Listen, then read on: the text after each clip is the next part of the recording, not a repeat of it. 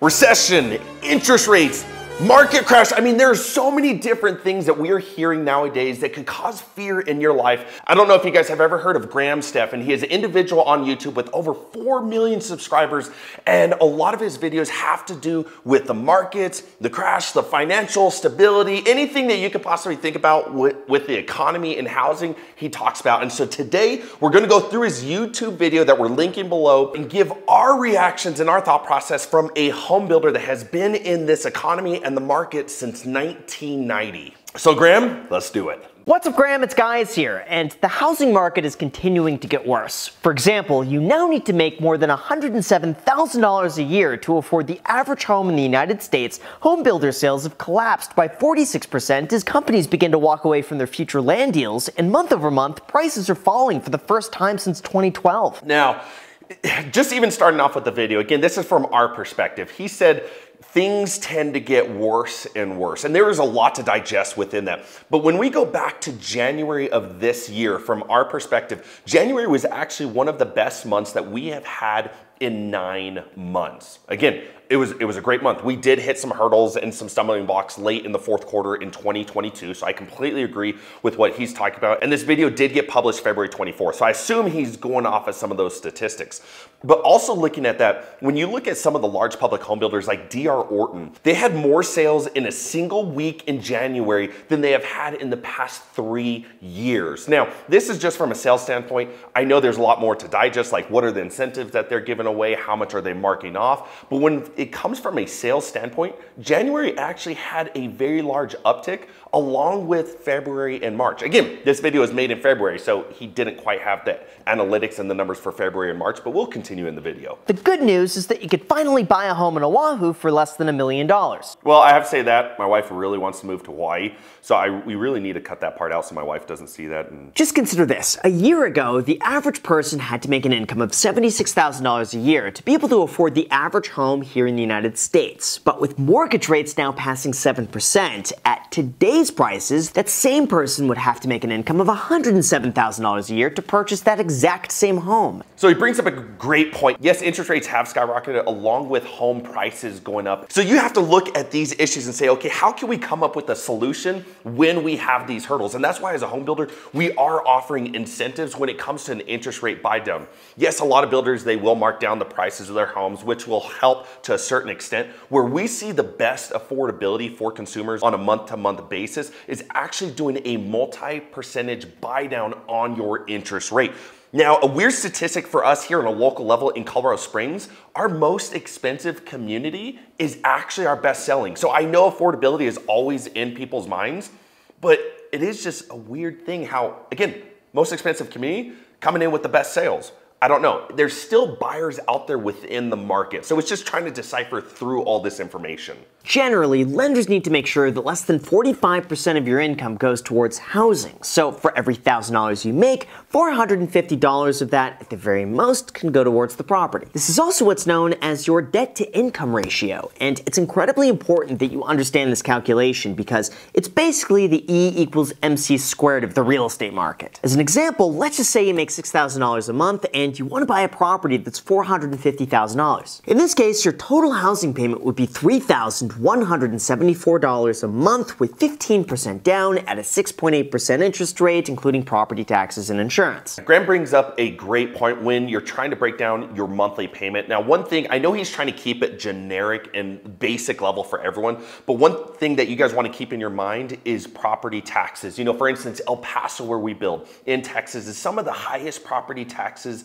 that you will see when purchasing a home, but right next door, just about an hour away in Las Cruces, New Mexico, is some of the most affordable affordable property taxes where we build in, which is going to drastically change your mortgage payment on a month-to-month level. So just something to keep in the back of your mind. Now, before we dive into the specific cities about to see the largest declines, in terms of pricing, a recent index found that just 38% of homes sold between October and December were affordable to U.S. families earning the median income of $90,000. Because of that, agencies like CoreLogic gather sales data on a monthly and annual basis to determine just how much and where prices are expected to fall. And as they found, so far, Idaho is the only state to post a year over year decline in prices, with just about every other location posting an average month over month decline of 0.4%. When Graham is talking about falling prices, there's something that I want to input into that is, you know, through COVID, we saw this drastic increase in prices and we knew that wasn't maintainable. But from a consumer standpoint, they look at it and they say, oh, corporate greed, or you guys are just increasing prices for profit, this and that. You know, deal today our prices are drastically increased from 2018, 2019, even doubled in some areas. But our profit margin percentage is actually lower. Yes, we are doing incentives to move some of the homes and with the prices increasing, things of that nature, but it doesn't mean that our profit percentage has increased drastically. Like I said, it's actually lower. The pricing of materials has drastically increased, and us from a home building standpoint, we haven't seen the relief that we would want in order to bring those prices back down to where we were pre-COVID. You know, just for an example, within our HVAC, we went from one community to the next. We're talking in just a couple month differential where our HVAC costs on our homes, in some of them not even doubled, but tripled in cost. And so a lot of these things are adding up, and that's where we have to be very careful. Yes, we want to get the prices back down to affordability, but how do we do that in such an era and time like this while still keeping people employed? This is just a fine tightrope that we are trying to walk day in and day out. The National Association of Realtors said that markets in roughly half the country are likely to offer potential buyers discounted prices compared to last year. So for anyone looking to purchase a home in the near future, this is really good news. For instance, San Francisco has already seen a 14% price drop from the peak, Seattle's fallen 13%, San Diego is down 10%, and Phoenix slash Denver is tied for 8%. But where this gets concerning is when you begin to look at national levels, because several metrics are dropping, and fast. One thing to make note on Graham's topics here, he is taking everything from a national level and a national average, which is about all that he can do. But there's these heavily populated areas like San Francisco, LA, New York that is going to skew these numbers so drastically that it's not truly accurate to your local area. You know, for instance, I keep bringing up El Paso. El Paso is one of the most affordable cities in the United States. And so a lot of these numbers that he is talking about is not going to be relevant to us in El Paso. Even to us here in Colorado Springs, which is only about 45 minutes to an hour south of Denver, we have a drastically different market than the numbers he is representing when it comes to Denver. The New York Times recently posted a feature describing the reality that anyone who already owns a piece of real estate has very little reason to sell it right now. And I completely agree. Homeowners are currently able to charge a high rent relative to a low mortgage rate, and equivalent properties are almost impossible to find at the same monthly payment. That means as long as they're not cash flow negative, homeowners can afford to rent out their home with the mindset that they'll be able to hold off long enough for the market to recover. Now, of course, the downside is that for landlords, competition is picking up, with one Airbnb manager who's stunned that half of his homes were empty over Super Bowl weekend, even after dropping the price from $1,200 down to $500. One note to make on the Airbnb thing is cities are starting to regulate Airbnbs and the ability for individuals to rent out their homes. Again, here in Colorado Springs, it is so regulated that it is almost impossible to do short-term rentals for Airbnb. They're almost forcing you to go more of a midterm, like over 30 days, unless you're grandfathered in or have the proper licensing. So that could also skew some of the rental numbers from Airbnb. I also think it's incredibly important that we get as many different perspectives as possible. So I flew all the way to New York City to get Barbara Corcoran's thoughts on the current housing market as someone who's been in the real estate market for 50 years with over $4 billion in sales volume. Here you go. Do you believe that rents, though, would go down for people who can't sell their home?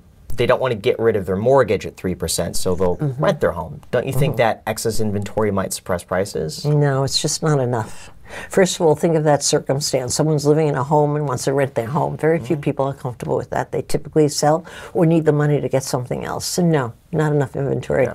There really is uh, the biggest bottleneck in the market right now is shortage of inventory. It sounds absurd, right. but not enough listings coming on market to choose from. Yeah. Barbara hit it right on the head right here. What she's talking about is the inventory levels here in the United States. That is something that is drastically different from now to back in 2008. Right now, we are so under inventoried or the demand is so great that we aren't able to produce enough homes for the demand that there is out there in the market. Like I said earlier, you know, we did did see the slowdown due to the rate increases throughout the country, but something that is different than 2008 also is the demand is still there. We still have people coming in buying homes because there isn't enough inventory out there on the market for people to buy. As far as my own thoughts, here's what I've noticed. I was able to sell two of my rental properties last year, and there is a dramatic difference between the two. The first property was listed at the beginning of the year when interest rates were low, and I priced it on the high end of what I thought I could get. Well, to my surprise, there were multiple offers over asking, and it sold within a few weeks. Now, the second property was listed a little bit more towards the middle of the year after interest rates had already increased, and it took a few weeks to get an offer below asking, and then it sold a month later. All in in all, I did not get as much as I could have gotten a few months earlier, but the change was pretty quick, and I could absolutely understand how a buyer needs to prioritize affordability first. Separate from that, I've also been actively looking to purchase a commercial office space, and to my utter amazement,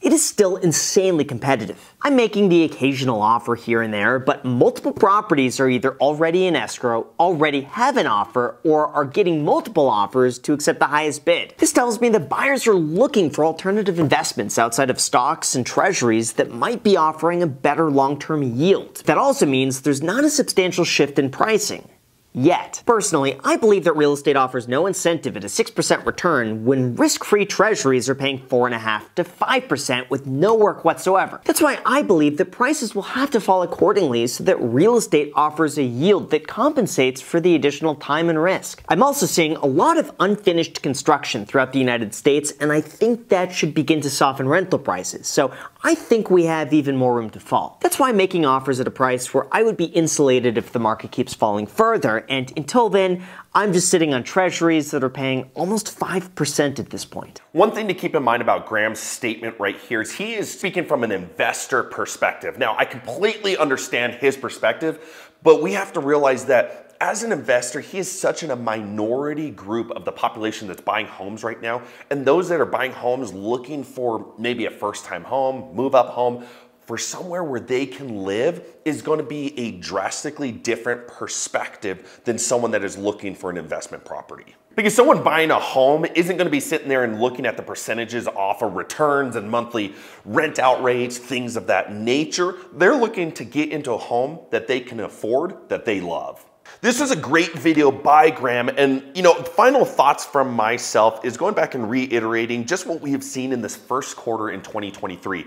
You know, we have been in the industry for over 30 years, and some of the predictions that we even had towards the fourth quarter of last year, which was a very turbulent time for us, this was the best quarter we have had probably in the last year to two years. I mean, it was great from a sales perspective, even as a closing perspective in March. March was the best closing month that we've had in the last 12 to 18 months or so. So the market could be shifting. It could be a little blip. We don't know. And that's what a lot of these individuals are trying to do. They're trying to sit back and predict the future. And while, you know, they have a 50-50 chance whether they're right or wrong, no one truly knows the future. We can just take the here and now and what we're seeing from a month-to-month perspective as a home builder. And so far, so good to start this year, guys. Graham, thank you so much for the video. Had a lot of thoughts on it. Really great video. Make sure to go check him out. But guys, if you enjoyed this video, make sure to subscribe to the channel. Make sure to turn on that bell notification for future videos so that you'll get notified and stay up to date. And we'll see you guys on the next one.